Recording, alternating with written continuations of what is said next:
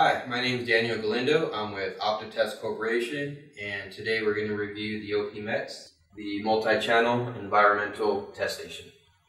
The OP-METS is ideal for harsh environment testing of fiber optic cable assemblies and connectors. It meets standards such as GR326 and Verizon, and it can be completely customized, offering stable and accurate insertion loss and mandrel-free return loss measurements. Optotest's OP-METs are designed with each customer's needs in mind, including options for single mode, multi-mode, and FTTX applications in either unidirectional or bidirectional configurations. Equipment can be custom tailored to meet your launch condition specifications, including encircled flux. Mandrel-free return loss and MEMS switches allow for the fastest, most accurate, and widest dynamic range of measurements in the industry. Upon request, the OP-METs can be built into a 32U rack enclosure.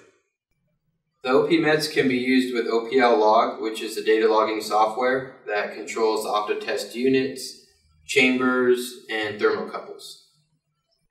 Results for insertion loss, return loss, and temperature are graphed in real time and saved to an Excel file for further analysis and traceability. Another unique feature of OPL Log is its ability to run two tests simultaneously, allowing for short-term testing while a long-term test is running this test station combines the most accurate measurements, the fastest channel to channel switching time, and the most stable test equipment on the market. I'm Daniel Galindo with Optotest. Thank you for watching.